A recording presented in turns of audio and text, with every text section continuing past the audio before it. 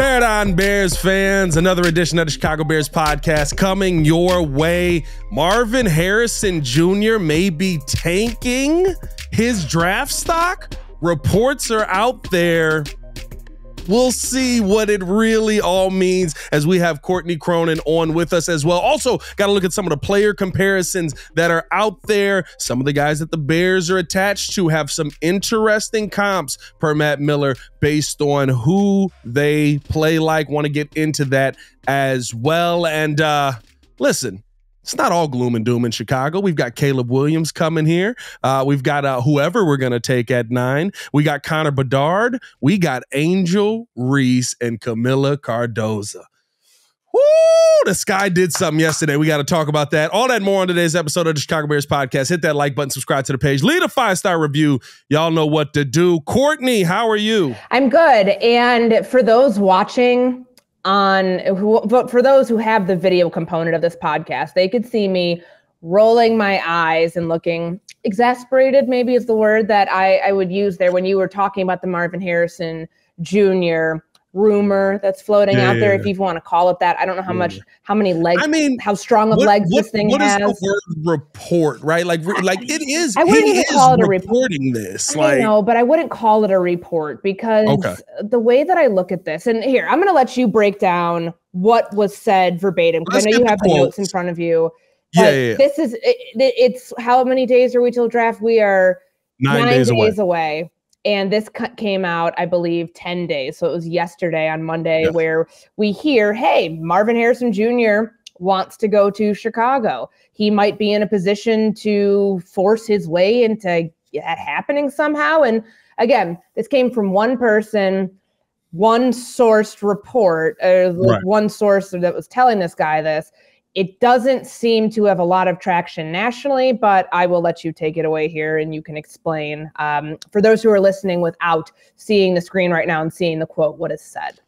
Yeah, so we've got, I mean, uh, this Joey Christopoulos, he, he's talking about MHJ, covers the Big Ten um, for Beyond the Big Ten. Um, he, from what I can tell, this is a guy who is, you know, he, he's not just the guy saying things, I guess, about, you know, guys in the Big Ten. He does cover them. He is in press conferences. He is talking to people. But I don't know if there, I, I question some of the validity here because of what is said. Uh, he goes on to say, I've talked to a few people and I've tried to get it confirmed. At the time, Marvin Harrison was blowing off his pro day. He was just not showing up what I've kind of been told, and this is not confirmed, is that Harrison wants to play for the Chicago Bears. He also goes on to, oh, wrong way. Oh, there, there we go. He also goes on to talk about, I'm not saying he'll fall to nine, but if JJ goes at four, I think there could be a deal with the Chargers at five. The clause is pro, or the, uh, um, clause is probably going to be next year's Panthers second round pick or the Bears own second round pick, which I guess we've kind of heard that if there was a move, right? I guess the the one validity part to that is that that Panthers second round pick could be a part of a trade if the Bears were to move up. But outside of that, what are your thoughts on this? I, I guess rumor, mm-hmm. like he's not confirming anything. So report that there is some belief that Marvin Harrison was tanking his draft days and his pro days to try and get to Chicago to be with Caleb Williams? I'll start here. First off, I have said this on this pod and I've said it on radio. I don't believe they're going to move up for a receiver. I believe that what would be in play at number nine, most likely, is them moving back if they're going to make any move at all. And depending upon how those quarterbacks come off the board. And today we hear that Washington is having all the top quarterbacks, not named Caleb Williams, because he took one visit and that was to Chicago, but JJ McCarthy, Jayden Daniels, Drake Maye, they're all in the building in Washington today. JJ McCarthy and Drake Maye believe we're meeting with the Patriots in yeah. within the last 48 hours. So there's a lot that's still being decided for Washington, who then has the ability to to to change the draft order. If they go JJ McCarthy there at number two, then it's Jayden Daniels potentially, then it's Drake Maye or Drake Maye, Jayden Daniels, like whatever it is.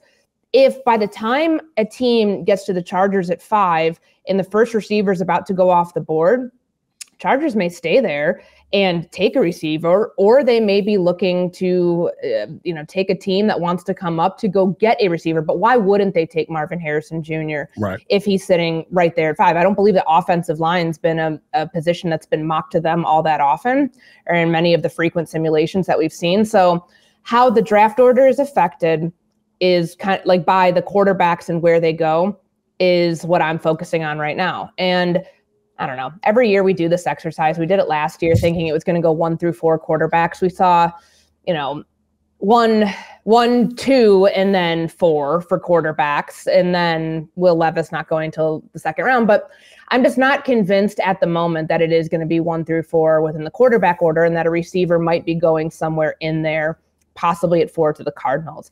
So it brings me back to like now that that's out of the way of thinking right. bc brought up like what what would feel realistic potentially would be the bears maybe going up to five to go get him in this simulation now that that's out of the way a couple things on the on how this was presented i i understand that like we're in an era now where to be a reporter to be a source journalist doesn't mean that you have to work at a massive network at a massive newspaper massive outlet whatever it is people have sources that come at all different levels of, of media. This guy is a podcaster, I believe, from the Believe Network.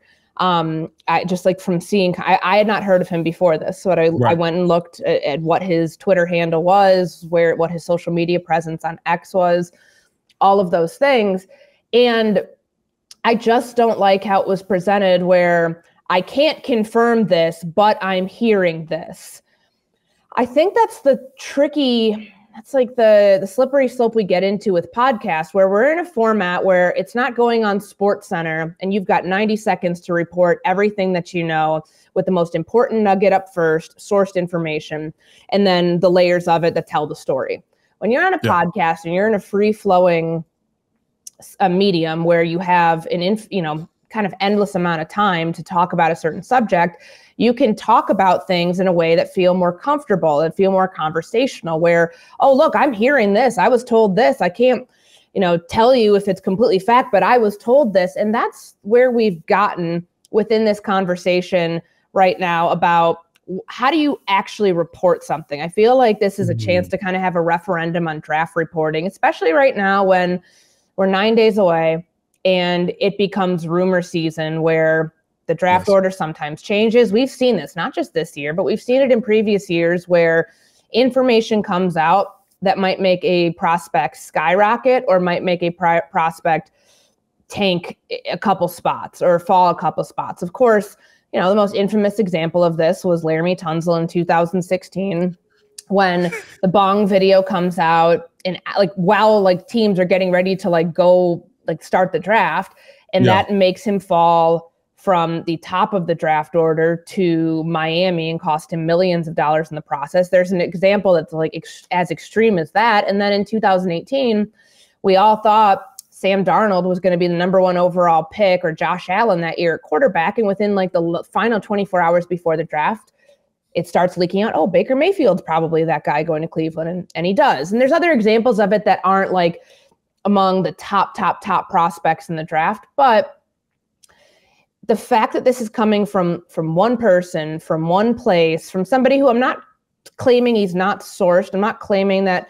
this is just a one-off but right. he said like he's been trying to confirm it so he clearly heard it from one place but doesn't have the r- sourcing needed to concretely say i know this as fact so when you're throwing something out there about a prospect and an accusation more or less that he wants to go to the Bears and that's why he's like tanking his draft stock to do so. That's a pretty you better be sure you're right on that before you throw something like that out there.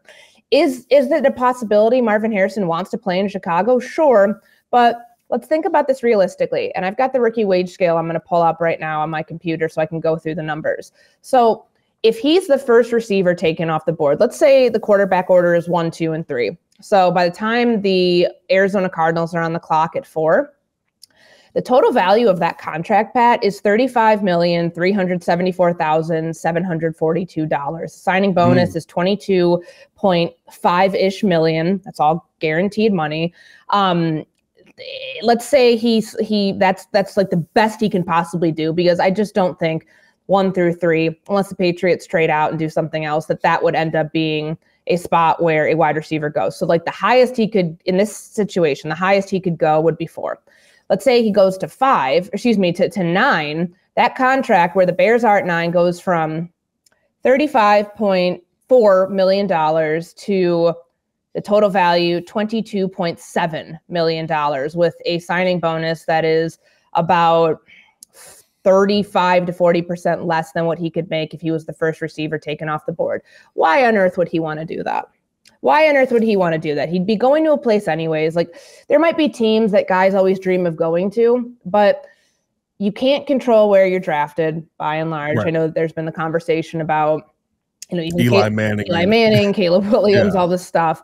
But you go to a place, you go to the place where you're drafted, and the Cardinals wouldn't be a bad spot for him by any stretch. And we haven't heard him say any of this. Remember, the one chance he had to talk, he decided he didn't want to. So he skipped out on his media availability at the combine. So we didn't get to hear from him about why are you not testing? Why are you not doing any of the workouts? He went there to like get weighed, get measured, and then I think he left. And then he didn't do his stuff at the pro day because that points to I know I am the best receiver in this draft class. I don't have to do those other things because I know yes. I'm going within the top five.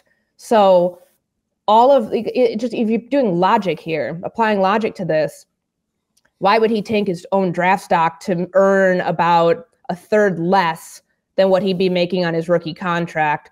And if you do well on your rookie contract, that sets you up for a massive second rookie second contract. And we're seeing what these what these wide receiver contracts are now. Like this just doesn't make a whole lot of sense to me why he would want to. And again, we have not heard this from him. This is just speculation yes.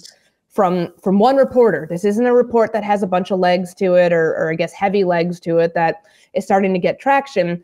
It's an idea that's being floated out there based on what somebody allegedly heard. And I just think we need to be a little bit more careful in what we're reporting as journalists and as people who claim to be in that same space. Like there's a responsibility that comes with how you handle what you hear and being able to verify it before you let it out of your mouth. Like you may be hearing something.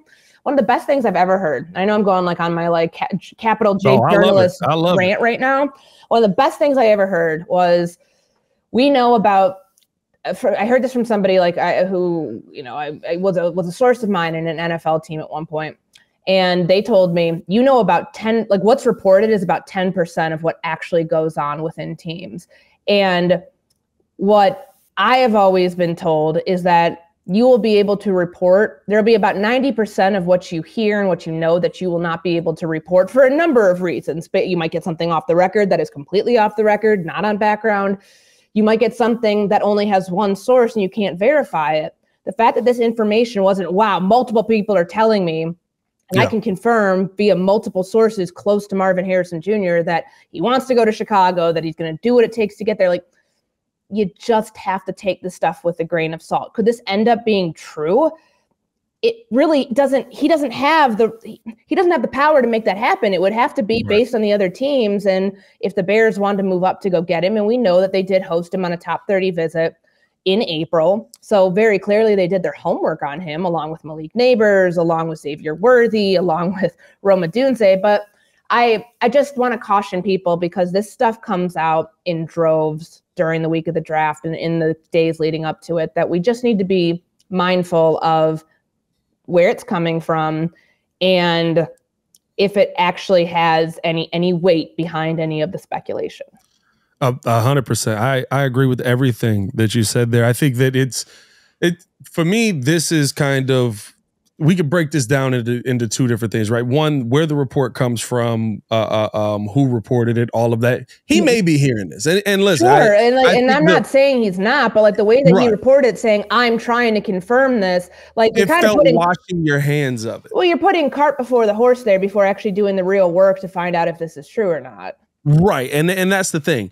I'm not denying that he's hearing these things that maybe somebody has told him this. I think what a lot of where a lot of people's concern and confusion comes in is all right, who is that? Because remember before Caleb Williams spoke, we're hearing from Colin Cowherd. We're mm-hmm. hearing from right all of these other people about the camp of Caleb Williams or Caleb Williams' dad told me this on a side conversation, and we're hearing all this stuff. And then Caleb goes up there and he's like, "I've never like I don't even know what half of that stuff is about." Like, I, right? So mm-hmm. we didn't get to hear Marvin clear this up. Marvin probably has no idea that this is even out there right like, if we're being 100% I'm, I'm honest. sure he does i'm sure like a lot of these people they may not they, these prospects when you are a top draft prospect i think that caleb williams bringing him kind of into this the team he has around him that's becoming yeah. more and more the norm for these athletes coming out of the NIL era where they already have a lawyer, they've already got a marketing person, they've already got somebody hand, like kind of their brand manager more or less.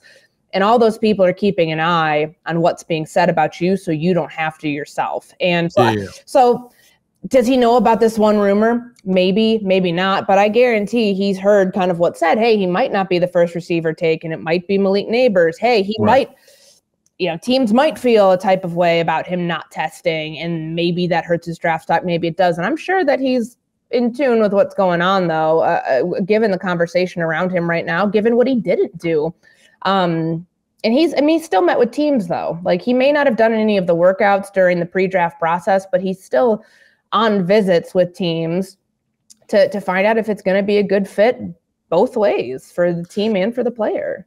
Yeah. And I think to, to, right? Like why he may do something like this. The money aspect i think that's a great way to bring it up right? Like the wage scale. If this were something that he's that marvin harrison is doing i guess right maybe because he's marvin harrison jr you're not as worried about the financials that come along with it. You mm-hmm. still want to make as much money as possible but maybe you're just not like the financials you would rather be in a great situation. Sure. You're still talking about going out there to be with kyler murray who listen has his issues but can play the quarterback position, can throw the football, and can get it to you. At at five, right? It, you're you're talking about uh, uh, the Chargers. Uh, so you got Justin Herbert. Who wouldn't love to play quarterback with Justin Herbert? I guess when you get to the Giants, if he mm-hmm. were to mm-hmm. fall there, there'd be some concern because you got Daniel Jones there. But you, then you get Tennessee, Atlanta, and Chicago, three teams that are expected to have young quarterbacks and or somebody established. So I guess if he was to do that, maybe he's thinking – I would rather get to a situation where somebody who's in a better spot wants to trade for me. But we're talking about the Chargers being the team trading. Yeah. So why wouldn't he want to go to the Chargers with Jim Harbaugh, where you're starting at new? You've got the quarterback, you've got things already mm-hmm. established. Mm-hmm. Like, I just, it seems like there's a lot of hurdles to jump for him to just say, I want to go to the Bears. And that is the one thing that apparently is the definitive, I guess, is as close to definitive we can get, is that Marvin Harrison is doing this because he wants to play for the Chicago Bears, which means that he's hoping to get to a range where the Bears will trade up. Then comes in the question, are the Bears even willing to trade up yeah. to go get him if he falls to a certain point? Because that would end up taking like again, that's why I say I think it's going to be a trade back because they don't have a lot of draft capital this year. If this was a year where they had seven or even eight picks going in, that might be yeah. a different situation. But given the number of picks they have, given where they're drafting in the first round, given the receiver class, and that you can get a high end receiver later in the first round beyond the top 10, beyond the top nine, where they currently are with twice. Um, it just doesn't make a lot of sense to me to go tap into 2025 draft capital because that if you're moving up to five, Pat, that's what it's going to take. Like you're yes, going to have yeah. to give up nine and probably that 2025 second rounder from Carolina. Yeah, the um, Panthers pick. Yeah, you know, to to move up.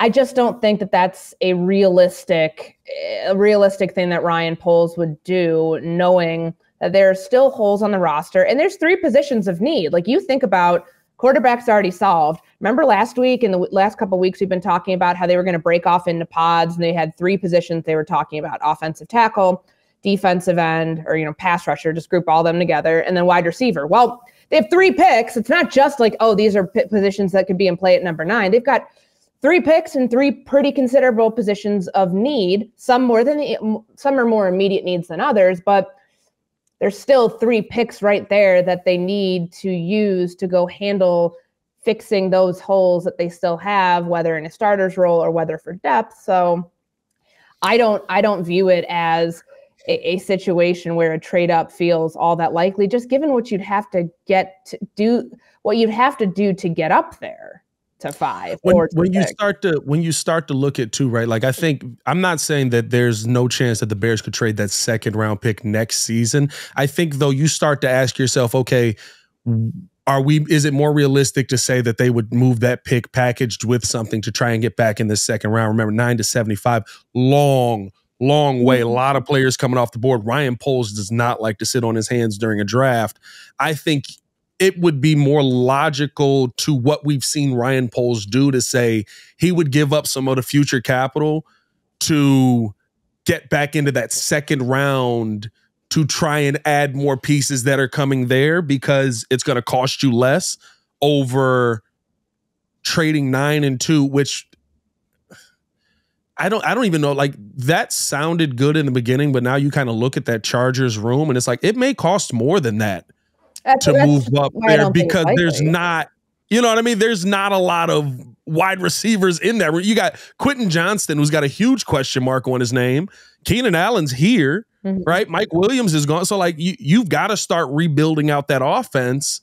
It's probably going to cost you a little more than just nine and mm-hmm. two but I know that that was something that was being reported earlier when we were talking about the Bears trading up as well. And we can't forget who's before them at four. Like Arizona yeah. has multiple first round picks right now. They've got their like the Vikings, the Bears, and Arizona each have two first round picks. If Arizona is yep. comfortable moving out of four, then that's Minnesota probably coming up to go get JJ McCarthy or get whichever quarterback. Um, right. Because it feels like it changes every single day based on things you're hearing at this time of year. But when then, does Bo Nix get up there? th- then, like, if that happens, though, then the Chargers are staying there at five because no, like, if four quarterbacks are gone, then they get their pick of the best receiver available. And why wouldn't you? If you believe that that's Malik Nabers, if you believe it's Marvin Harrison Jr., given the depth chart you just listed for us, yeah. and, and a lot of these things they had to do based on their salary cap constraints. They were able to restructure two defensive players' contracts in Khalil Mack and Joey Bosa. And then they had to, they, you know, they cut Mike Williams and then they moved on from Keenan Allen. So I don't think it's a situation where they would be wanting to move out of five if they had their pick of every skill player in the draft starting with them. I I guess here's the other scenario, right? Maybe they believe Nabers is the number one. Mm-hmm. If it gets right, if it starts to get closer to you, do you think you could see the Bears making any kind of move up where maybe it's not going to cost you that future second, but maybe like a fourth or a fifth? Right? Is Marvin here? If you like get to a point where in the first round, like you're saying between all right, let, let's you're saying five is Marvin Harrison Jr. or five is the Chargers. Malik Nabers. Uh, Malik Nabers, Marvin Harrison Jr. So you're saying basically between six and nine, six, seven, six between six and eight, right? Because uh, I don't think they would know. worry about that because they've done their homework on the top three, and yeah. if if they believe like the only thing I could imagine, and I don't think this is receiver driven, I think that if they felt that Joe Alt, if they were so mm-hmm. in love with yeah. Joe Alt, that he and thinking like, my goodness, this guy is a 10 year left tackle for us. We would need to get ahead of Tennessee. If there is a trade up, I think that that would be the only mm-hmm. way that that happens because at nine, if it falls the way that we're talking about right now, they will have the third best receiver. If MHJ is gone at five. If the Giants right. take Malik Nabers, or if that order is switched, then they then they'll have Rome Odunze there at nine. I don't think that they would feel compelled. Oh God, we've got to get ahead of um, of of uh, Tennessee right now to get a receiver. It'd be let's get ahead of Tennessee to go get this tackle. But I, I just don't I'm see. I mean, that's only a couple spots, and no, that would yes. still be pretty expensive. That wouldn't. I that would. I think if you're moving up into the top five, top six, of the draft order, you're probably giving up a pick next year too.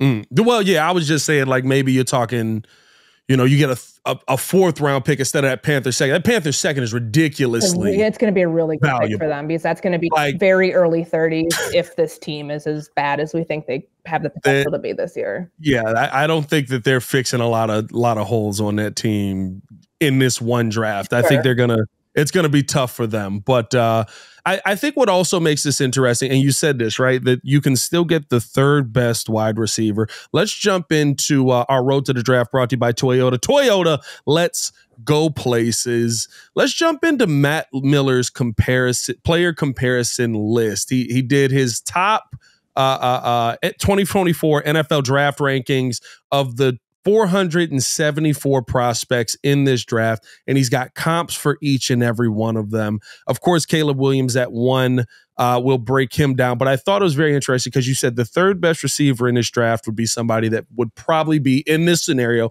available to the Chicago Bears, and that's Rome Odunze. Mm-hmm. And when he talked about Rome Odunze, we've talked about trading back a ton.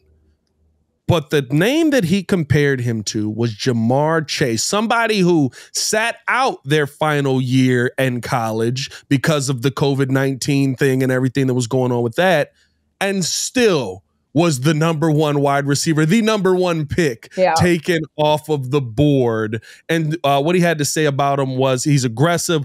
Uh, aggressive might be the best word to describe Odunze's game. Powerful before and after the catch, beats up cornerbacks with his frame, physicality. and his dominant 2023 season, Dunze posted 92 catches for 1,640 yards, 13 touchdowns. NFL teams hoping to emulate the 49ers and load up on physical, powerful wide receivers will love his game and his tape uh, his tape is that of a rookie star with high end potential. He's 6'3, 212 pounds.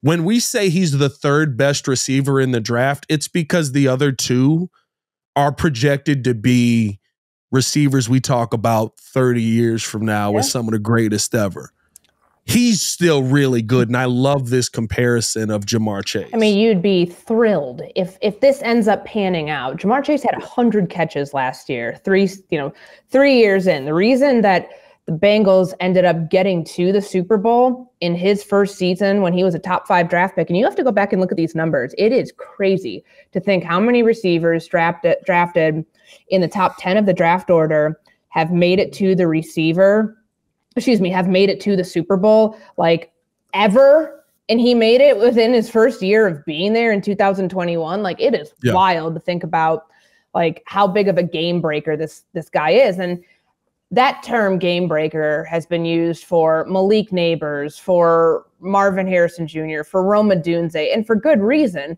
because these are the type of receivers where if you don't have your defense like knowing where they are at all times, then then you're in a bad spot because that means that that guy is going to get open and he's going to be the threat for your quarterback that can help, you know, either the rookie development or can be the person to help take your quarterback to the next level. And I think that everything that we've seen with um, with with Rome Odunze at Washington and what he was for Michael Penix Jr., this is a dream for a young quarterback. This is a dream for Caleb Williams to go into a receiver room that is already established with a 27 year old wide receiver in DJ Moore, which it was just his birthday the other day. So happy birthday to him. He's 27. So he's kind of at the middle part of his career.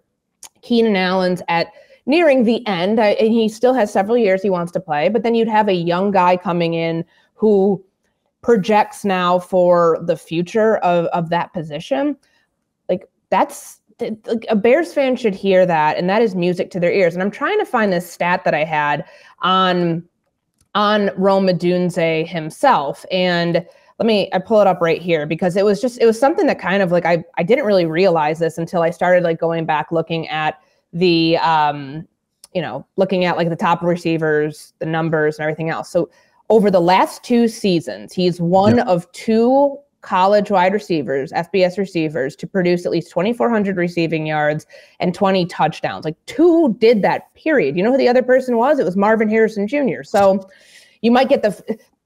Like in any other year where this isn't as stacked of a receiver class, this guy might be the first receiver taken. Yes. That's what like is the bottom line here. If you didn't have a group where I know I brought up Field Yates' mock draft that we talked about last week.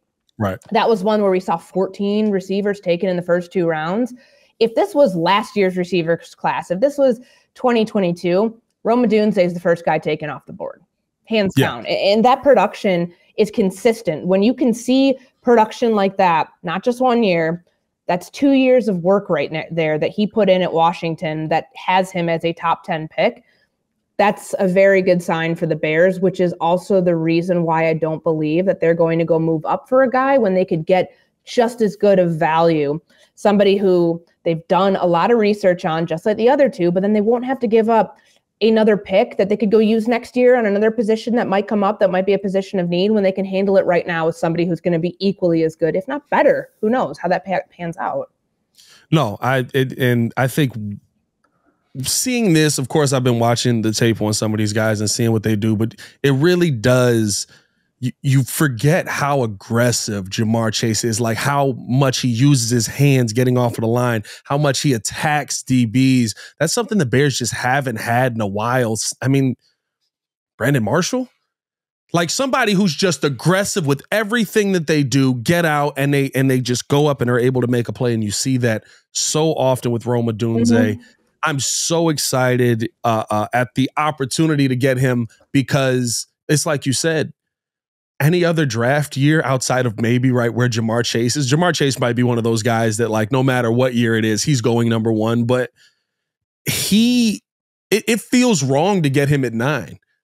Like it really, it feels like oh, like we're getting this dude as a steal, even well, though you're really not. Well, this happens like it happened in 2020 when Justin Jefferson, who is a top three receiver in the NFL right now, fell all the way to 21, yeah. 22, wherever it was for the Minnesota Vikings. Like when you have depth like this, you you know that like there's really no harm in staying where you are because, and I think we've seen this in a couple mocks. You and I, or maybe it wasn't a mock. It was the fact that it raised some eyebrows when the week that they were doing all of the big, or no, the week after they did all of the big name prospects coming in for, or at least the ones who started the top 30. So Caleb Williams, Dallas Turner, right, yeah, yeah.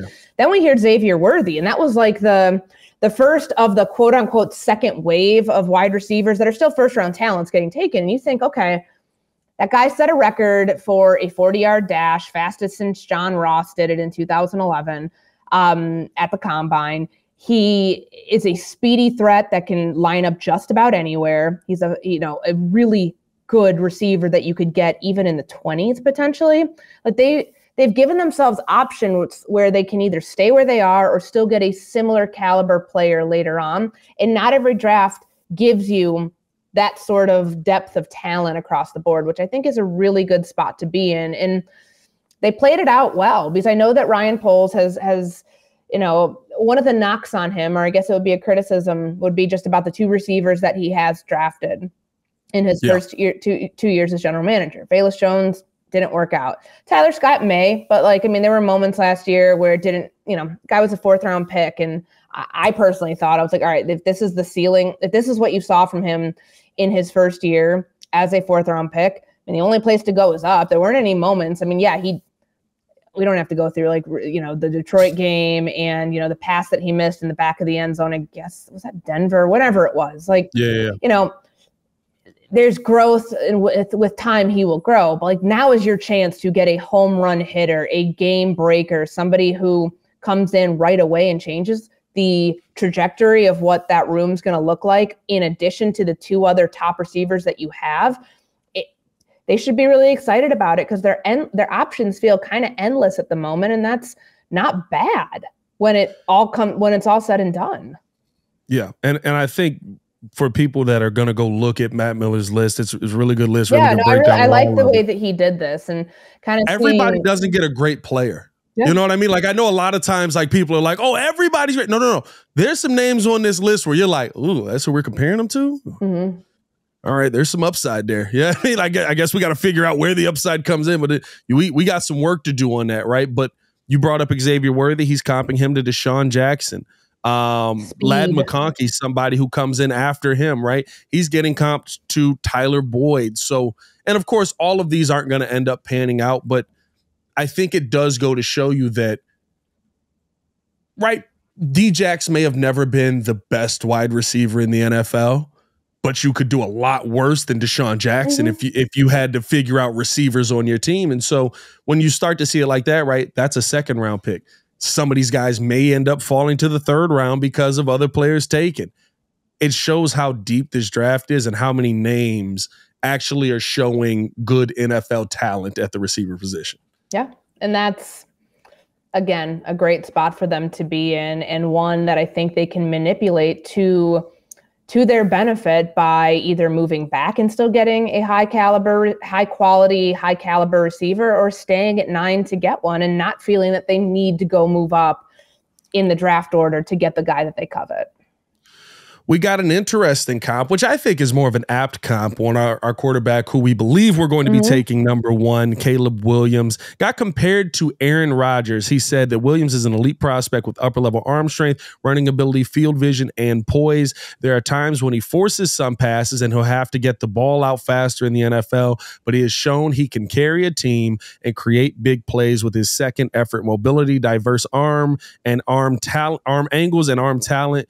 Uh, well, Williams finished 11th in QBR last season, 82.4, and threw for 3,633 yards, 30 touchdown passes, five interceptions. He is the overwhelming favorite to go first overall. I think the Rodgers comp, not to say that having Aaron Rodgers expectations is not massively lofty expectations, mm-hmm. but I think that's more applicable to what we've seen out of Caleb Williams than – the Patrick Mahomes comp. You hope that he can be Mahomes, but I think how Caleb plays and how he, you know, he'll step up in the pocket. He can use his arm. He can also use his mobility to extend the plays. That's a lot of what, as Chicago Bears fans, we've seen Aaron Rodgers do. Mm-hmm. That you got to pick your poison. You're going to blitz him or you're going to play zone. Either way, he can pick you apart. That's kind of what I think we saw from Caleb in college. Yeah, and you know the first thing that comes to mind when i read that and i and i am glad that it wasn't the patrick mahomes comparison because not saying that that Rodgers hasn't had, you know, he's three-time MVP, he's won a Super yeah, Bowl. There's good. there's pretty really good comparison if you're a Bears fan hearing that, but you know, the broken plays element. And I think about you know the times that you watch or at least we saw it in green bay when aaron rodgers there'd be a broken you know broken down play and he'd be scrambling around for eight seconds buying time to find somebody. That is a skill that so few quarterbacks can possess the ability to get out of the pocket and while you're on the when you're when you're processing what's happening downfield when you're trying to when you're moving and you're trying to figure out where other people are moving to to still make a throw that ends up in a completion that ends up in a big gain for your team. If if he can do that and what we've seen when when we when people have mentioned the backyard football comment with Caleb Williams and just that that's his style of play to me I know uh, people immediately go to go to Patrick Mahomes my I go to Aaron Rodgers with a lot of that. Of course, Aaron yeah. Rodgers has a tremendous arm, whether he's in the pocket or whether he's outside of it pulling a Houdini act. But that is something that he has perfected as one of the best in the NFL over the last decade plus to do that. If Caleb Williams can come anywhere close, if that's his ceiling, if that's his player comp, then he's going to be a damn good quarterback for the Chicago Bears. Yeah, and I just I remember all those plays where right you think you've got Rodgers locked up, you're you're right mm-hmm. there on him, and he does that that little like step back where all of a sudden he's got an extra second. Then you think you got him again, he steps up and it's a hail mary pass. He's got a receiver wide open downfield. Like with seeing those names together, I think that it's it.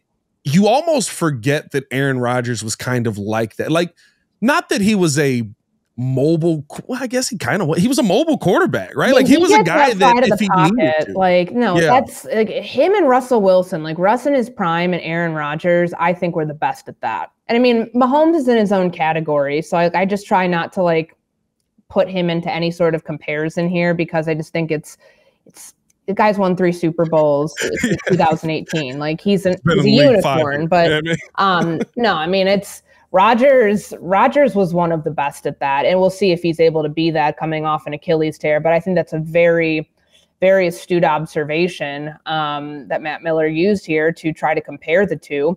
What I will be curious about is all the intangible stuff too. Like, can he intangible? Like, let's see how good Caleb Williams is at drawing defenders offside using the hard count. That is like when people think about Aaron. When I think about Aaron Rodgers, that oh, it's yeah. the stuff we just mentioned, but it's that thing on third down when he's when he's drawing your defense off side because he like is an expert at getting guys to fall for that and bite on it. That is those are the things that make quarterbacks like that those are the traits and, and qualities that make quarterbacks like better than others.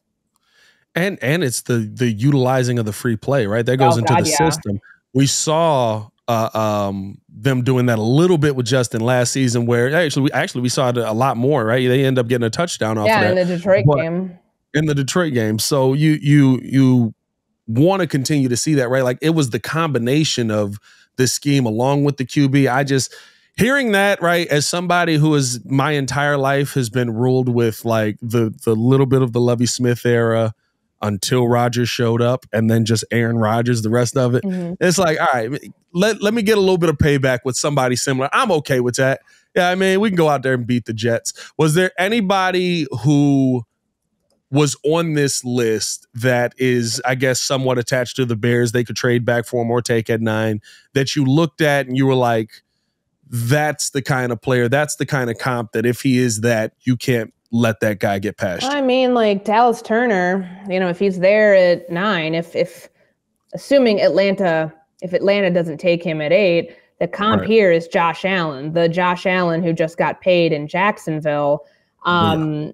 you know, like to have a force like that coming off the edge to put, you know, and, and what, you know, with Dallas Turner, how he projects size wise too what do the Bears always talk about? Like the length, the the physical attributes, the athleticism. They've got like three boxes they want to check. And he's six three, so he's not the tallest. I mean, when you take a look at like Montez Sweat and what he looks like, you know, he's 6'3, 247 like he can be a lot of different things for you if you you could put him as an outside linebacker in certain schemes you can have him as a as a you know edge rusher where he's got his hand in the dirt that versatility is something I think Matt Eberflus, now that we've got a year of him calling the plays in Chicago and seeing what he wants to tinker with with this defense and how he wants to line guys up, like hearing that that like that Josh Allen, you know, one of the better like just hit, you know, second contract starting to hit that prime for pass rushers at age 26, 27, 28. Like yeah. hearing that as a comp, who like, you know, and I I I waffle on this every single day. We've got our ESPN NFL Nation mock draft on Friday, which then airs, I believe, next Tuesday, Tuesday before the draft. And I'm really curious to see how this board falls because if Dallas Turner's sitting there at nine, I think I'm going to have a really hard time not picking him. If, and I think that the Bears would, if they stay at nine, if it's Rome Odunze or if it's Dallas Turner, what's the more immediate need? What's the what's the basically you got to ask yourself what's the position you think between those two specifically that you could get at a later a later pick and still be okay yeah. with. And I just I don't know if there's an edge rusher that that would be available. Like if if they if they aren't able to move back and if they're just staying there and they've got 75 then like do you have a starting defensive end there? Are you comfortable if you had to go get a defensive end in the third round that that guy's going to be able to be an immediate contributor to your team this year? I don't right. know, but that's one where I was like, damn, okay, the Bears would be think they I think they would like seeing that comparison if that's the player that they ended up going with. What always it's so tough to me because I I just have a full on belief that some teams are really, really good at figuring things out, right? Like I have concerns with Philly on the fact that, you know, Jason Kelce just retired, but Philly's got like six centers in a row. You know what I mean? Like they just they're really good at finding mm-hmm. that position and, and coaching so like, them too. I mean, coaching certainly helps coaching. when you bring somebody in and you can expect that. I mean, hell, that's a reason Chris Morgan was retained on this staff and given a promotion with the the run game coordinator stuff that he's going to be doing this year because of how they believe he develops offensive linemen. Um, yes, same. Thing. And I think that's that's the part for me where it's like is it more important to go get Dallas Turner? I would say positionally, yes. It's it's more important for you to have somebody opposite Montez Sweat than it is for you to have a third wide receiver in years that we're seeing now where you're getting receivers every year. But I also believe that the Bears we, have never talked about them struggling to find guys coming off of the edge. Yeah. We've never talked about well, them as a couple of years. I mean, guys that they've drafted have not necessarily panned well, out. They, yeah, yeah, they, they got a little cute with Dominique Robinson. Are we done with that? By the way, is that experiment over with? Like, is I mean, that... he was inactive for a bunch of games last year, and I don't know for a fifth round pick. I, not that I'm projecting out my depth. I got to wait to see what the what the what the 90 man looks like going into training camp. But yeah. if they do go get an, an edge at nine, I think that that his days are numbered at that point. Yeah, it's it's it, was it was a fun experiment. I like that we thought. Yeah, converted wide receivers to defensive ends. They happen all the time. he had he had one game, one game, that San Francisco game where he figured out what Trent Williams was doing.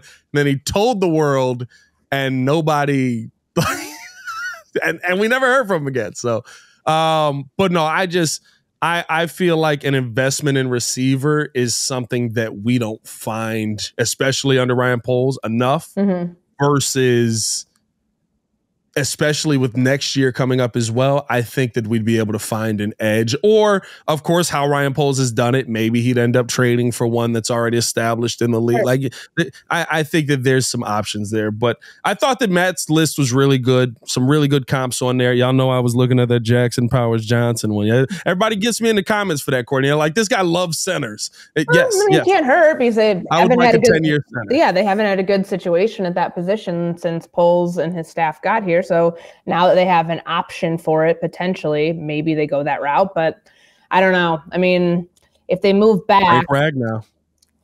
Eh, hey, his comp Frank Ragnow. I mean, yeah, I mean. it's a pretty, it's a pretty good comp. I just, I mean, when we think about if they really think Ryan Bates is that guy and they don't have to really go all in on True. that position right now, then maybe that's not the, it's further down the priority list. Yeah, no, I that that I do believe. I don't know. It seems like the love of Ryan Bates is a lot higher than me. I'm just jaded by us, you know, turning guards into centers because it's worked so well here in our history.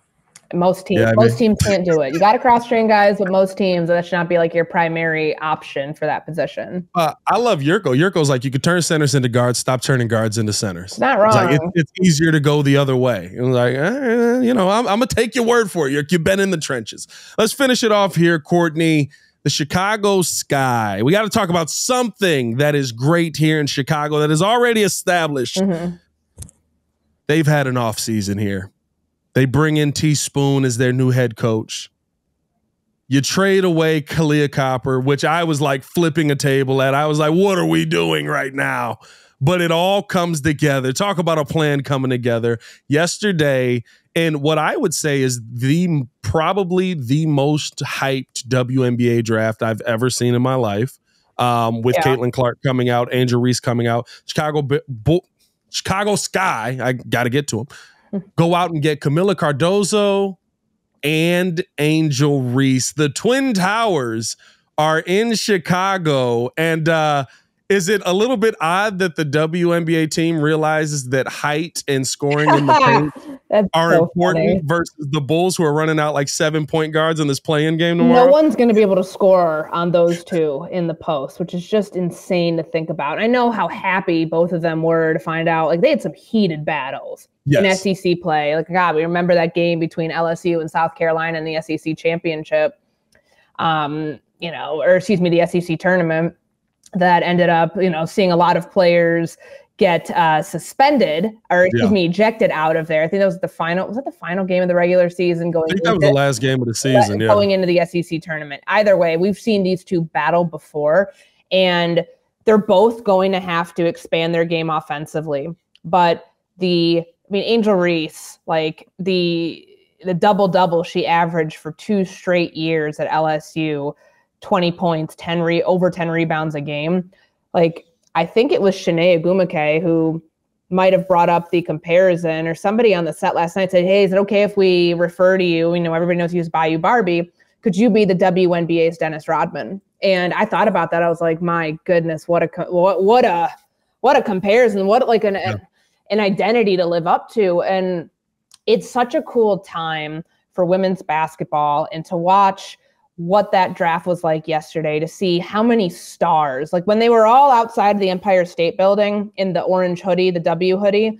Yeah. I, I thought it was like, is this going to be the picture that we think of with that class? You know what I mean? Like yeah. the 03 class when they're all in the NBA, when they're all wearing the oversized suits. Like I think about that draft class and like because there's so much star power that came out of college or even out of high school at that point into the NBA. And we know all of those guys. All most 90% of the players in that draft class went on to have incredible careers. Yeah. Some like LeBron who are still currently still playing. Um, could this be the draft class that does that in the WNBA? And I know that there's been debates about kind of like the old guard of the WNBA and the new players and how things should be prioritized and having to earn your stripes and all these things. And there's a debate now about the Olympic team. Could Caitlin Clark get onto the Olympic team? That would mean that a WNBA, a current WNBA player, a veteran, would be left off. And I think we got to stop putting like, oh, well, you know, you got to earn it. So you got to earn it, of course. But like, I think that we need to stop we need to stop doing putting things on principle or start putting things on principle aside when it comes to somebody who's already done so much for the game of women's basketball. And if she is the one of the best, like don't let politics get involved in that and put her on that right. damn roster. Cause I would like to see the women take a home a gold medal. And if that means Caitlin Clark's on that team, like, and if somebody else who has been in the WNBA for a while has to sit out, well, so what? That's competition. But no, I mean, back to the Chicago Sky. I'm ex- I'm excited for what this does for women's basketball in the city, based on where this team was a couple years ago, winning a championship, how far they fell under James Wade. For him, just like bolting out of here, saying, "I don't want to be a head coach anymore. Let me go be a bench coach for the Toronto Raptors." How'd that work out for you? Um, I, I still I don't appreciate the move. I understand the pressure that comes with being a head coach. Not everybody's meant for that, but you know, to watch and he was head coach and GM. To watch, yeah, yeah. a lot of power with that. To watch what yeah. this team has become, but now kind of like the LA Sparks, a once a once really proud franchise that fell by the wayside. They've got a coach out there that's trying to make that team better. They've got a coach here with Spoon who's trying to make that better for the Chicago Bull, excuse me, the Chicago Sky. Um, if only the Bulls could get out of their own way and, and have that's a whole different good as the Sky does. But no, I mean I'm pumped for it. I'm pumped to get like I'd love to get an Angel Reese jersey, um, Sky jersey, and it's going to be super clean. But think about what this means for like the greater city of Chicago and the sports landscape. Yeah. We've got Connor Bedard, who was the number one overall pick in last year's NHL draft. We have Caleb Williams coming next week to be the number one overall pick here for the Chicago Bears two top seven picks for the three and seven for the Chicago Sky with Kamilla Cardoso and Angel Reese. Like yep. this wave of young talent. I've been trying to rack my brain ab- around this. When's the last time the city had this many star rookie players or players who are at the peak of their college career coming in here that already had the allure around them. Yeah. And obviously Connor Bedard not coming from college. He's like, you know, barely 19 years old at this point. But nonetheless, young stars. Like this city has an influx of them right now. It's an exciting time to be a Chicago sports fan and to get to cover the landscape, knowing that these are the players that are going to take three teams that have had losing records, some more frequent losing records than others, and be responsible with getting these teams on track. That's a very I can't think of any other city right now that has this much of a youth movement within yeah. like the entire sports landscape. It's pretty cool. Yeah, and listen, the Reinsdorf's got to figure it out. like, like that's that's really what it comes. To. You're getting left behind, brother. The White Sox on the two wins, you pieces of listen. I don't even get me started on what's going on on the other side of the Bulls. The Bulls are a team that uh, they're they're tw- uh, 26th in three point shooting, 21st in points in the paint. So they don't shoot the three or go into the hole. Um, and, and they've got a 114 offensive rating in a 2024 modern NBA. Like, they, and they're running out four point guards. Like, some of these teams got it together, but but I think not I love the point, not, not the Bulls.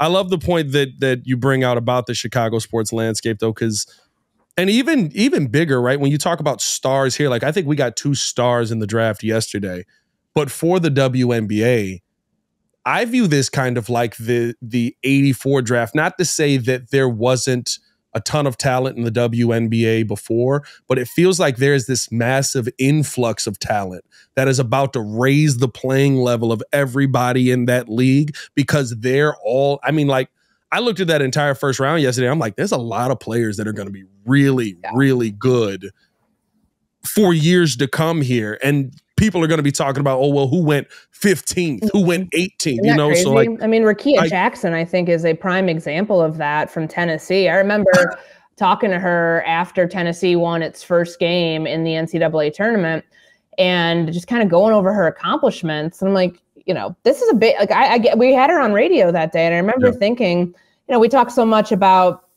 you know, uh, about you know Caitlin Clark, about Angel Reese, about Kamilla Cardoso, about Cameron Brink, but like you're a baller too, and she like the offense, the offense that comes through that person, like what it did for Tennessee, what it's done for SEC basketball, and to watch all of these people who are responsible now for carrying the momentum that they've gained in women's college basketball over into the WNBA, which has a season that starts in less than a month. And yeah. it's a season that goes on at a period where the sports calendar is more quiet. This is a prime opportunity to capitalize on an audience that you built. These girls are responsible for building the audience that watched 18 million people watching that final game against South Carolina yeah. and Iowa. They did that. That was not fake. They did that. And now it's on them. Like, I feel like just hearing the way that each of them talked about being proud of their efforts and being proud of one another last night when they were doing their interviews after being drafted um, for what they've accomplished in the women, game of women's college basketball. You know, you can go like one through 15. You're right. It's not just Sabrina Ionescu at the top of the WNBA draft. It's not just taking a look at players who go like one, two, and three. And then you're like, okay, yeah. I've never heard of this player. I don't know her game. I'm not familiar with it. Like you're familiar with the depth of this draft, which is awesome. And I'm excited. Women's basketball is in a really good place. WNBA draft, they crushed it um, with the way that it was presented. And, and I think even hearing Cathy Engelbert, the um, commissioner of the league, talking about how ESPN, like kind of the partnership that they've had in expanding the game of women's college of women's college hoops, but also with the WNBA. This is going to be a really big window that the sport has to capitalize on to make sure that this Absolutely. momentum continues. Absolutely. Do not let it die. Sky season tickets are already sold out.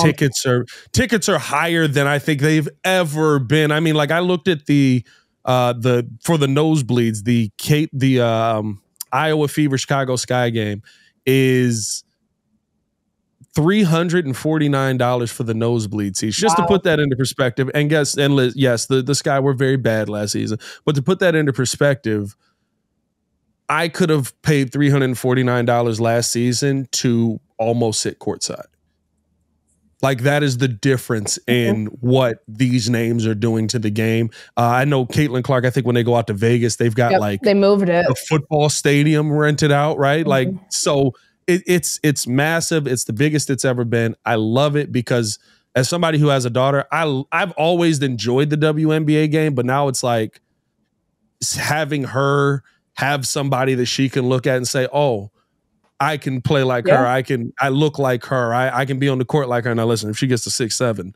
yeah, I mean, I'm packing my bag. She's say, you, you can retire at that point.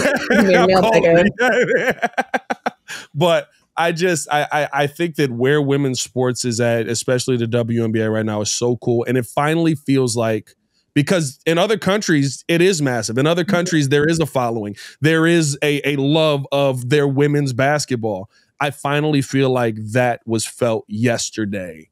Yeah. With the WNBA draft and not just the college game. Yeah, no, it was really neat, and I'm I'm I'm eager to see, you know, this I don't know if there's there's not another draft where the college season ends as quickly as the women's college season ended, where those those players that are drafted right away. College football ends in December for most players. Um, baseball? Baseball, sort of, because like of.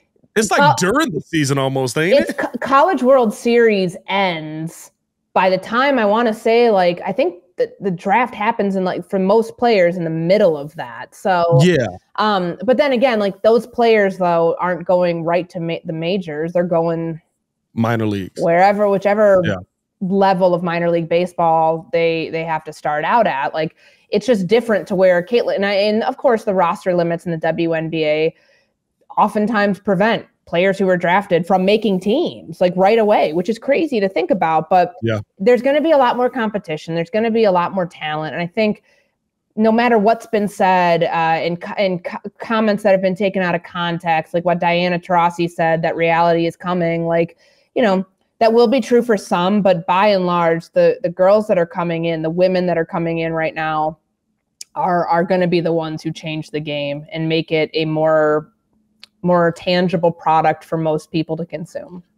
Hey, listen, Taurasi meant what she said. She she we know what, what time she's on. You know she's gonna be trying to run through Caitlin Clark. Like Taurasi done got a little, she she a little jaded in her later years in this league. She's like, she got a little too aggressive. I don't know. I ever since Sky played her, I've been like, you you still a goat. But you, are a little too cocky for me. Come, uh, come back to earth. You lost. You know what I mean? That's all I'm saying.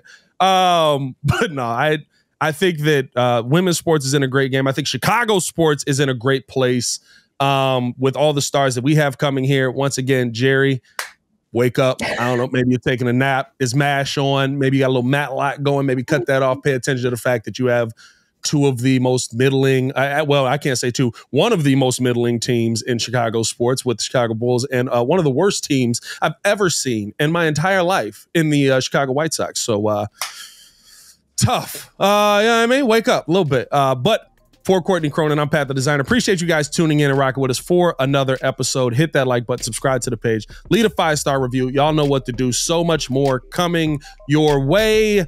As always, it's your boy Pat Designer. Y'all stay safe out there, Chicago. One love, Bear down. Peace.